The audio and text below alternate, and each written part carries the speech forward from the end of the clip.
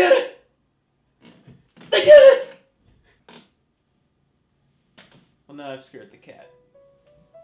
Hey guys, it's Chris, and as I'm sure anybody who watches this channel would know, uh, we went into today expecting a reveal of Red Dead Redemption 2, and we got that. But uh, what we didn't expect to get until late last night uh, was the reveal trailer for the Nintendo NX. They have been teasing this for months, if not at least a year. I, I've lost count of how many times we've heard something about it without actually getting to see it. Um, and in my opinion, it uh, it didn't disappoint. First off, I think the Nintendo Switch is a much better name than the Wii or the Wii U, so I'm just glad that that's kind of taken care of. Screaming children. Fuck it, I'm gonna do it anyway. You know what? Fuck the kids. You heard it here. Lord Jackal, fuck the kids.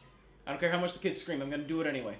I think what's really great about the NX is it seems like uh, they have found a way to have like interesting controllers without actually getting in the way of actually playing the game. I wasn't a huge fan of the Wii. I thought the Wiimotes were an okay idea and great for certain games, but I felt like it severely limited uh, what you could do with the console. Now, obviously, you could go buy a classic controller, but it, it, you know that didn't come with the console. So anybody designing a game for the Wii had to expect that uh, large parts of their base would only have the Wiimotes and design around that. We did get some great games that used it. Uh, stuff like Pandora's Tower was fantastic, but it uh, it held the console back. Now with the Wii U, I personally thought the gamepad was a great controller, but a lot of third-party developers got hung up on it and just didn't put out good games, or didn't put out games at all. It seems like we finally struck like a healthy balance. The Switch controller uh, can be any of that. That's what I love about it. It's combining the Wiimotes with the gamepad with a standard controller, and it it's, it's just gonna have all those options right away. People can design for any of it. I mean, obviously, okay, so the gamepad is actually a separate thing, I guess. You're not gonna play with the gamepad on the TV, but irregardlessly, having options without them being restrictive is not a bad thing. It's also apparently going to be powerful enough to be running Skyrim Remastered. I personally don't like Skyrim, but if Bethesda can get their latest project running on it, uh, that's a great sign for third-party developers. Also a good sign for third-party developers, the list of third-party developers that Nintendo's working with. You got From Software, so uh, some Dark Souls games on there. Again, even if I'm not a fan of them, people want it, and having it on there is going to be a big thing. Square Enix, maybe Kingdom Hearts 3 will be coming to the NX, like people have been hoping. Oh my god, there's just more kids are coming out. They have Codemasters on board who've made a ton of great racing games, and also James Pond. Also, one of my friends, Sage Water Dragon, uh, brought to my attention that they have NVIDIA making the graphics card, which is a first. Everybody's been using AMD. Uh, so I'm really excited to see why they went with NVIDIA. Um, I'm guessing it has something to do with being able to get a powerful graphics card into something like this half portable, half home console hybrid.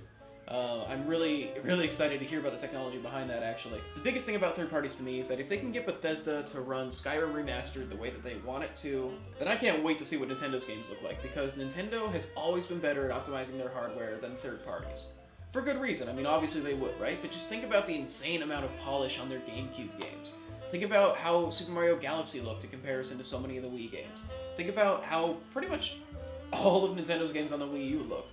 They do great polish, and I can't wait to see what this new 3D Mario game that also got announced uh, is going to look like. Also looks like we have a sequel to Splatoon confirmed, and they are going full esports, which esports is like a mixed bag for me, but you know what? If it's there, absolutely, like, go for it. Even though I've mostly been joking that the NX was mostly going to be a PC, I was honestly just hoping that uh, the controller would be something that you could take with you. Um, the what they ended up revealing is much more effective uh, and exciting than what I could have imagined, which I guess is just what Nintendo does. Also, as another side note, I forgot to mention this earlier. Um, with all these third-party developers, I'm hoping that that means these third-party developers are going to be working on reviving some of the Nintendo franchises that they haven't touched in a while. Like you got Codemasters, they made Formula One and Grid and Dirt games maybe have them revive F-Zero. But that's all just speculation. Uh, mainly, it just is really exciting to see all these developers behind it and to see what Nintendo's doing with this console. It looks fantastic. And I also find it really funny that uh, just like at E3, uh, Nintendo managed to make everybody forget there was another reveal today. As for Red Dead Redemption 2, it uh, it looks pretty. We didn't really get any details out of it. Um, there was that controversy surrounding whether or not uh, there are going to be any female outlaws in the game. Uh, a lot of people got upset because the reveal shot seemed to be all men.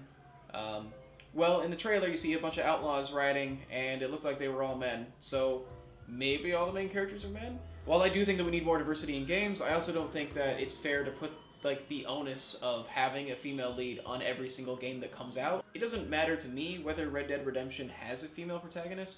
It'd be cool if it did. Uh, it's a fairly machismo series in the first place.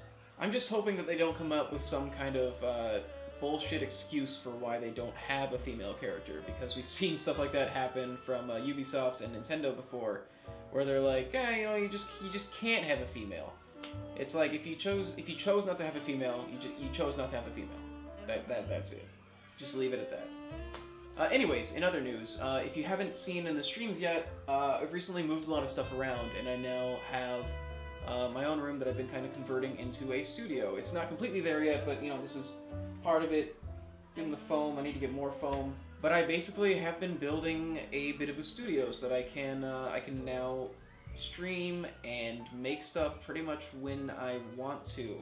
Uh, so hey, production will probably be increasing. I can do stuff like this with Screaming Kids. And speaking of which, I'm actually going to be streaming as soon as this video is uploaded just to talk more about the, the, the Switch.